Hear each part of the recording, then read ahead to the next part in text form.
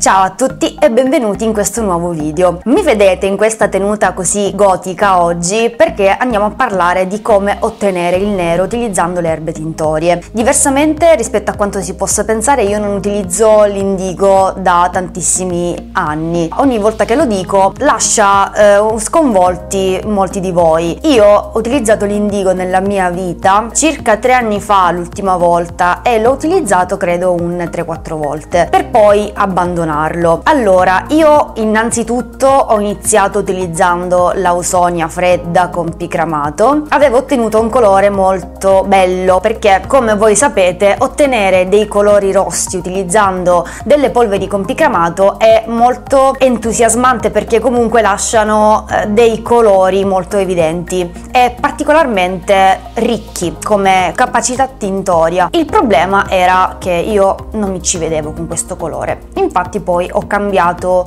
quasi subito in realtà e ho scelto di continuare a tingere con l'indigo. Questo parliamo di ehm, novembre-dicembre 2017. Poi eh, mi sono accorta che comunque non riuscivo ad ottenere il nero corvino che volevo ottenere. Siccome ero reduce da anni di tinte chimiche, da anni di nero-blu e quindi ero abituata ad ottenere delle colorazioni nere piuttosto intense. Sapete, il nero-blu sintetico è un nero cupo, è un nero notte, è un nero che ha delle sfumature che tendono al bluastro, quindi io ero abituata a questo effetto poco veritiero, quindi ero abbastanza triste in realtà di non riuscire ad ottenere un nero che mi soddisfasse. Allora ho detto vabbè, visto che tanto il nero non lo raggiungo, visto che l'indigo puzza, visto che mi secca i capelli molto di più di quanto invece me li secca la lausonia, lasciamo stare. Tanto eh, continuerò a utilizzare la lausonia per le sue proprietà curative e l'indigo lo lascio stare, però in realtà un po' mi dispiaceva perché io con il nero in realtà sono sempre stata fedele compagna e non mi andava di tradirlo, però vedevo che eh,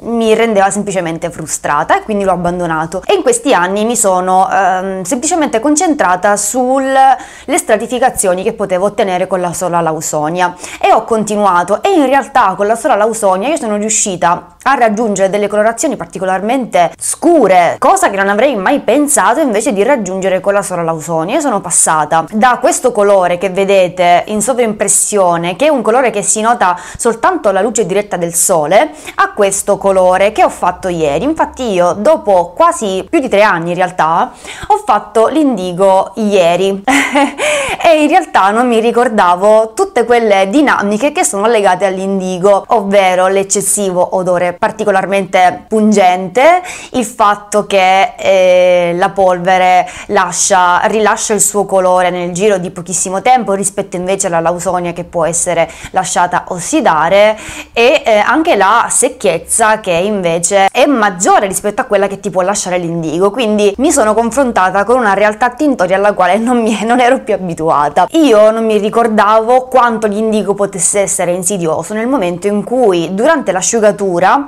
restasse sulle mani. Vediamo se magari vi faccio passare una foto che avevo anche pubblicato nelle stories di Instagram, che è proprio il deposito della polvere che una volta che tu vai a toccare i capelli mentre li stai asciugando praticamente ti resta sul palmo della mano. Allora che cosa è cambiato? Io ho capito in realtà che stavo facendo degli errori per questo non riuscivo ad ottenere un nero come dicevo io, come lo volevo io, come lo stavo cercando. E quindi con l'esperienza che non avevo all'epoca, ho capito in realtà che stavo sbagliando un botto di roba. Ora, questo video è in realtà l'inizio di una serie di video in cui vi spiego come ottenere un nero corvino, un nero che vi soddisfi, un nero che si avvicini quanto più possibile al nero che si può ottenere invece con le tinture sintetiche che si possono comprare al supermercato o quelle che invece otteniamo dalle parrucchiere.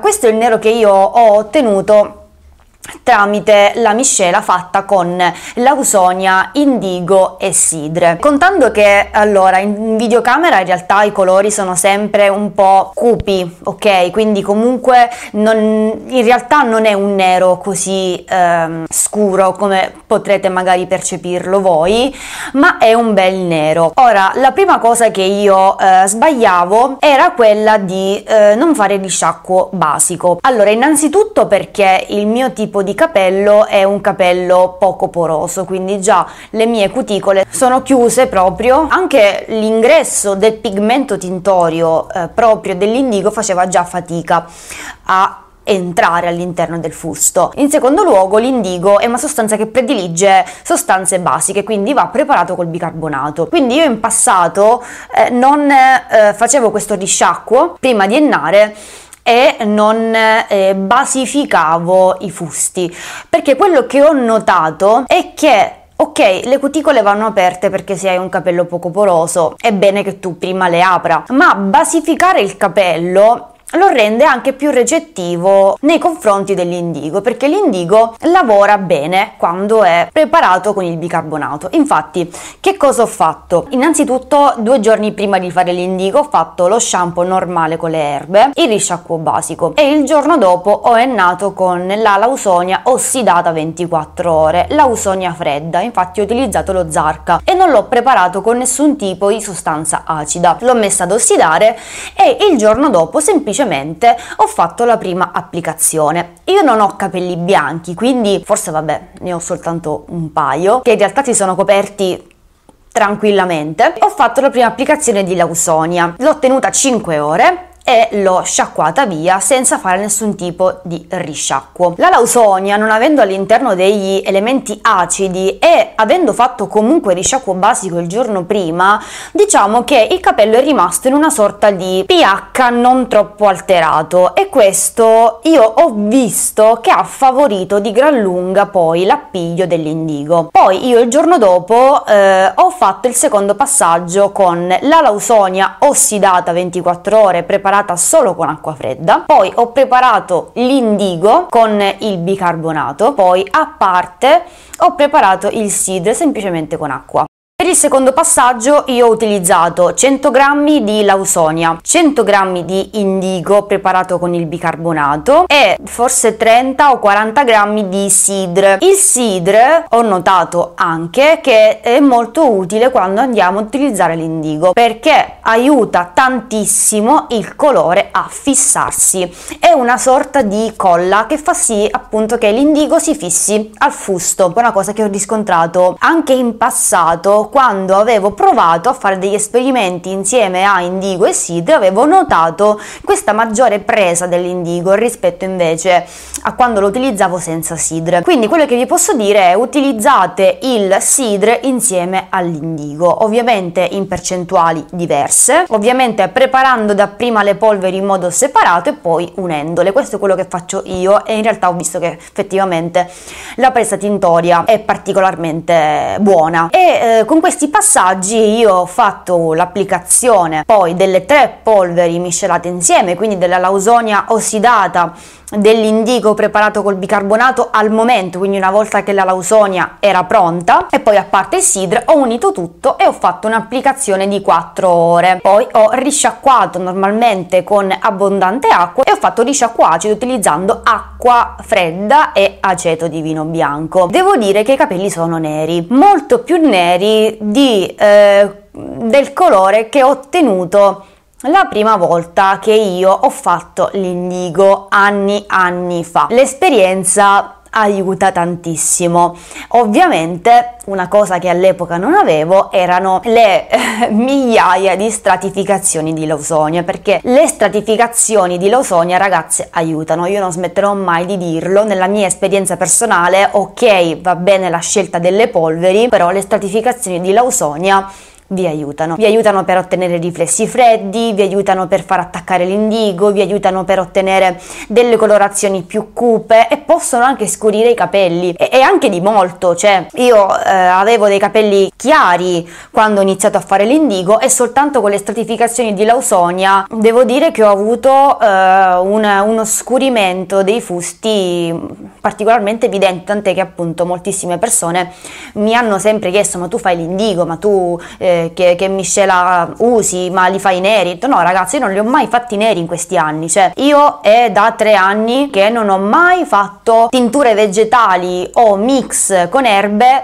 per raggiungere il nero. Io ho sempre solo usato l'ausonia fredda. Il primo indigo che faccio dopo anni è stato quello che ho fatto ieri praticamente. Chiaramente non ho usato oli, non ho messo gel, non ho messo niente né prima né durante né dopo. Ecco, questa è una cosa molto importante che vi dicevo anche in questo video che vi lascio linkato qui sopra. Chiaramente adesso devo andare ad intensificare questo nero che io ho già ottenuto, quindi andrò a ripetere, eh, diciamo così, in modo più costante possibile le nate fatte con lausonia e indigo e cercherò di rincorrere una stabilità tintoria. Una volta che ho ottenuto un nero anche piuttosto chiaro, perché in realtà visto al sole è un, un, un nero carbone, quindi con delle sfumature un po' morbide, non è un nero particolarmente strong, adesso piano piano andrò a lavorare di lausonia e indigo e quindi anche con, con, un po' di sidre per fissare e andrò magari mensilmente quindi almeno una volta al mese ad ennare in modo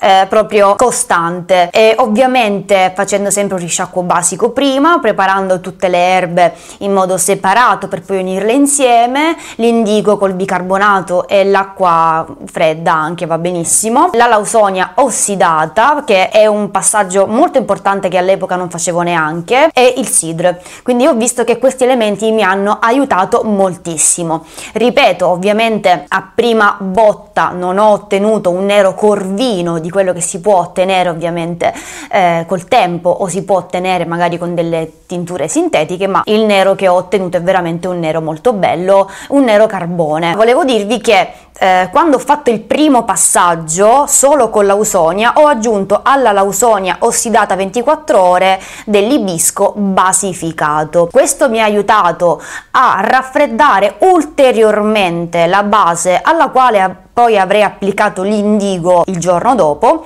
e devo dire la verità, questo mi ha aiutata fare il secondo passaggio con l'ausonia e indigo su una base ancora più fredda rispetto a quella che mi avrebbe lasciato la sola lausonia ossidata mi ha molto aiutato. Quindi magari ecco anche se volete passare al nero sul freddo andante potete anche avvalervi di erbette riflessanti che vi portano sempre sulle tonalità fredde. Quindi legno di campeggio preparato con allume o col bicarbonato o con le sostanze insieme, vi rilascio a questo video se non l'avete ancora visto, o l'ibisco basificato oppure anche la robbia, ecco, quindi io adesso seguirò questa strada, chiaramente non farò eh, il secondo passaggio nel, nelle nate a venire perché io non ho capelli bianchi, ne ho uno nascosto qui che è diventato nero e un altro piccolino in questa zona, per il resto non ho capelli bianchi, quindi eh, vediamo come si comporta la ricrescita. Poi in caso se vedrò che necessita di un passaggio precedente di lausonia, magari lo vado a fare soltanto in radice.